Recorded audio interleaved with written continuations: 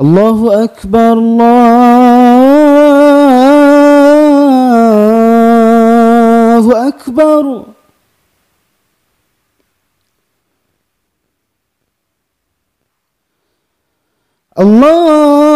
الله أكبر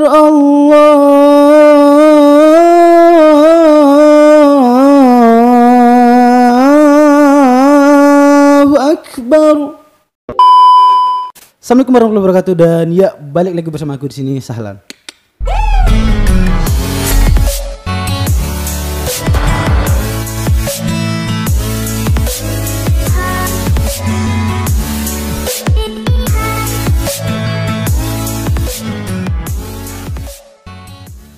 So guys, apa kabar semua hari ini Indonesia, Malaysia, dari Sabang sampai Merauke Siapa mungkin yang video ini Salam harap hal keadaan sehat dan baik-baik saja tentunya. Dan terima kasih aku ucapkan kepada kalian semua yang sudah nonton Dan mengklik video aku dan mensupport aku sampai sejauh ini guys. Dan ya Alhamdulillah subscriber aku ya subscriber channel ini hampir mencapai 20k subscriber dan terima kasih dukungan kalian semuanya support dari kalian semuanya. Tanpa kalian aku bukanlah siapa-siapa gitu ya. Nah geng jadi di video kali ini adalah salah satu video yang mana direkomendasikan dari salah satu subscriber channel ini yaitu yang berjudul salah satu top 5 masjid top 5 masjid Malaysia tercantik yang diiktiraf dunia tahun 2020 gitu. So jadi tanpa berlama-lama lagi tanpa berbasa-basi lagi oh langsung aja kita tonton videonya guys. Nah so jadi bagi kalian yang baru sih channel ini jangan lupa klik tombol subscribe untuk membangun channel ini dan membuat salam lebih bersemangat lagi gitu ya. Nah so jadi uh, sebelum kita ke video jadi kemarin aku dikirimi sebuah video yaitu dari bapak aku dari negara Malaysia gitu ya. Bisa dikatakan bapak angkat juga gitu ya. Dia mengirimkan sebuah video itu seperti ini. Nah dia langsung DM aku melalui Instagram. So jadi langsung kita tonton videonya dulu ya. 3, 2, 1 mulai boom. Wow. Wih itu dua orang loh. Oh Wah. Wih, itu di Ih, Astaga, gua pikir nggak ada pakai pelam, nggak ada pakai ini ya, nggak ada pakai pengaman juga gitu. Gua pikir nggak pakai turun payung gitu. Ternyata ternyata dua-duanya sudah memakai uh, persiapan gitu ya. Gila men, ini Jadi uh, negara Malaysia itu bisa dikatakan juga uh, seorang turis-turis atau negara-negara luar itu datang ke negara Malaysia untuk gimana ya untuk touring juga gitu ya. Gedung-gedung alternatif yang bisa digunakan untuk uh, gimana ya uh, untuk uh, traveling atau untuk uh, my trip my adventure dan juga gimana ya mencari salah satu hiburan yang baru gitu dari gedung-gedung ketinggian-ketinggian dari negara Malaysia gitu men. Yang mana suasana itu memang agak menantang agak menghibur gitu ya. Ya kita lihat aja sih dari ketinggian gedung itu terjun payung sampai ke bawah gitu men. Kalau nggak safety kurasa ya entahlah gimana gitu ya So, jadi kita lanjut lagi ke video yang selanjutnya yaitu top 5 masjid Malaysia tercantik yang diiktiraf dunia tahun 2020 gitu. Jadi uh, bagi kalian yang mau nonton video aslinya aku sediakan linknya di dalam description box aku. So jadi tanpa berlama-lama lagi langsung aja kita tonton videonya. Boom. Oke, okay, 5 masjid tercantik di Malaysia.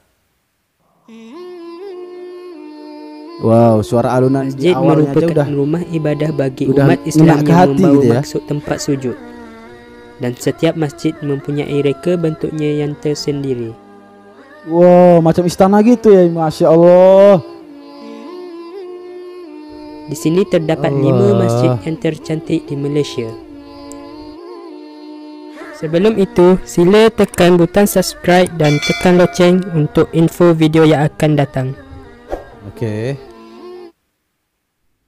Yang kelima Masjid Bandaraya Kota Kinabalu Masjid, Bandaraya Kota, Kinabalu, merupakan masjid utama yang kedua selepas Masjid Negeri Kota Kinabalu. Masjid ini terletak di pesisiran pantai Likas dengan keluasan 14.83 hektar. Wow. Masjid ini mampu menampung lebih kurang 12,000 orang jemaah pada satu masa dan masjid ini dimiliki oleh kerajaan negeri Sabah. Masjid oh. Bandaraya ini mempunyai satu kubah, empat menara dan satu setengah tingkat. Wah. Dari Sabah silahkan komentar di bawah. bagi masjid ini menelan sehingga RM34 juta. Masjid ini mula dibuka pada tanggal 18 Februari tahun 2000 bersempena pengisytiharan bandar kota Kinabalu oh. sebagai sebuah bandaraya. Dan masjid ini kelihatan seolah-olah terapun di atas air ketika air mula pasang. Iya ya, macam terapung di atas air. Yang keempat. Masya Allah. Yang nomor empat. Masjid Lapan wow. Kubah. Macam Masjid Lapan Kubah atau dikenali sebagai Masjid Rusia kerana Ya, benar, seakan-akan betul. Saint Basil Cathedral di Moskow telah berjaya menarik perhatian orang ramai. Benar benar Masjid benar. benar. ini Karena terletak di kawasan Oh. sawah padi di tengah-tengah kampung lapan kotak Jerteh. tunggu dulu. Nah, jadi di sini ya itu kalian bisa lihat menaranya itu ada beberapa menara itu desainnya itu warna-warninya itu warna-warnanya itu gitu ya bisa gimana ya bisa mirip dengan oh ini gila sih ini kreatif banget sih yang buat gitu ya wow ini daerah mana sih ini Sud Terengganu. Walaupun masjid ini hanya Oh. mampu menampung 500 jemaah dalam satu masa, oh masjid ini 500. tidak putus-putus dikunjungi para jemaah dan pelancong daripada dalam dan luar Malaysia. Masjid ini terbina kerana ingin menggantikan masjid kayu sebelum ini yang berusia lebih 100 tahun dan usang. Masjid ini dibina dengan kos RM 4 juta menerusi derma orang ramai dan kini penduduk kampung lapang kotak tidak lagi berasa kecewa untuk menunaikan solat hari raya di kampung mereka. Kerana masjid sebelum ini hanya mampu menampung segelintir Wow. jemaah sahaja. desainnya itu loh ya yang buat terkesan gitu loh Yang ketiga, yang ketiga Masjid Kristal. masjid kristal Masjid Kristal merupakan sebuah masjid yang terletak dalam kawasan pelancongan Taman Tamadun Islam di. Pulau Man, Kuala Terengganu. Masjid ini dibina daripada kaca dan keluli dan menjadi masjid pitar pertama di Malaysia kerana dilengkapi dengan prasarana teknologi maklumat dan liputan wifi yang membolehkan pengunjung menggunakan kemudahan akses internet bagi membaca Al-Quran elektronik. Dengan gaya seni bina Islam Moorish dan Gothic, masjid ini pernah dinobatkan sebagai masjid yang ketiga tercantik di dunia. Masjid yang bernilai Oh. RM360 juta ini kelihatan cantik pada siang hari kerana pantulan sinar matahari membuatkan masjid Betul, ini seolah-olah berwarna kuning, coklat atau hitam. Dan pada sebelah Pernah malam pula masjid? dengan efek pencahayaannya yang megah, Ter- masjid ini Wow. seolah-olah terlihat seperti terapung-apung di atas air. Keren keren sih ya Allah. Yang pernah terdaftar ya? Nomor tiga cantik di dunia gila masya Allah. Masjid Sultan Salahuddin Abdul Aziz Shah. Uh, Masjid Sultan Salahuddin Abdul Aziz Shah atau Masjid Biru kini menjadi lambang keagungan dan kedaulatan agama Islam di Selangor. Masjid ini merupakan masjid Uh, kedua terbesar di. Asia Tenggara setelah Masjid Istiqlal di Bandar Jakarta, Indonesia. uh, ya Masjid ini juga pernah menjadi masjid yang mempunyai kubah terbesar di dunia. Masjid negeri ini mula digunakan pada hari Khamis 3 Disember 1987 yang mana pada ketika itu imam pertama masjid ini ialah Tuan Haji Alwi bin Parman. Disebabkan keunikan seni bina dan sejarah masjid itu tersendiri, Masjid Biru ini menjadi pilihan teratas pelancong luar negara mengunjungi rumah ibadat Islam di negara ini sehingga mendapat pengiktirafan sijil kecemerlangan oleh laman web pelancongan TripAdvisor Ih, 5 tahun berturut-turut iaitu dari 2014 sehingga 2018. Pertama, oke head nomor satu ya Masjid Tunku Mizan Uh. Zainal Abidin. Masjid Tunku Mizan Masjid Tunku Zainal Abidin Zainal Abidin Allah atau sebelum keren. ini digelar Masjid Besi terletak di Presin Oh, 3 besar, Putrajaya Malaysia. Masjid ini yang mula dibina sejak April 2004 siap sepenuhnya pada Ogos 2009.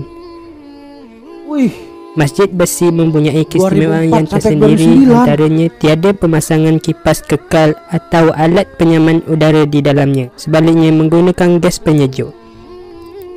Selain Oh. itu, masjid ini turut menggunakan seni bina jaringan wayar atau anyaman masyrabiyah yang diimport dari Jerman dan China. Pintu gerbang masuk juga menggunakan konkrit bertertulang kaca bagi mempertingkatkan integriti sesebuah struktur serta kaca hablo bagi Wow. menjadikan masjid kelihatan berwarna putih dari jauh. Masjid ini mempunyai lima tingkat dan mampu menampung seramai 20,000 jemaah dalam satu masa. Kos Oh, pembinaannya pula 20,000. bernilai sehingga 200 juta ringgit Malaysia. Jangan lupa subscribe, orang. like dan share.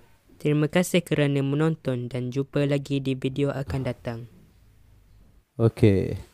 Oke, jadi sampai di sini video ini jadi durasi gitu ya, kalian bisa tahu lah ya. Jadi uh, bagi aku, menurut pandangan aku, ini yang paling termegah dan tercantik dan satu lagi yang terunik gitu ya. Yang terunik tadi kalau nggak salah di nomor 3 dan yang paling tercantik dan termegah itu di nomor satu men. Gila, aku aku ketika ngelihat rumah-rumah Allah gitu ya, Baitullah, rumah Allah gitu ya, tempat ibadah kita gitu ya. Aku ngerasa gimana ya? Ngerasa adem gitu men. Untuk memandangnya itu memandang itu sejuk gitu loh. Karena tiada tempat untuk uh, memohon atau tiada tempat untuk mengadu selain kita datang ke rumah Allah gitu ya. Ya, so jadi apa-apa tentang video ini silahkan komentar di bawah. Jadi ya bagi teman-teman semuanya dari mana pun kalian yang berada dan posisi-posisi masjid ini di mana-mana uh, di negara Malaysia silahkan kalian komentar di bawah. Barangkali ada di tempat kalian dari salah satu masjid ini gitu. So jadi saya salah Arga di sini untuk mundurkan diri lebih dengan kurang salah minta maaf. Jadi jika ada perkataan salah yang salah silahkan luruskan di dalam komentar. Saya Salam, mohon pamit. Wassalamualaikum warahmatullahi wabarakatuh. Next video. Bye bye.